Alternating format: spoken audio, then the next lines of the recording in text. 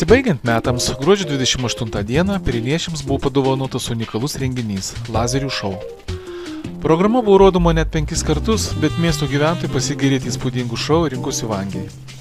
Na, o tiems, kurie patingėjo ateiti į Laisvės aikštę, kada vyko ši programa, siūlome pasižiūrėti įrašą.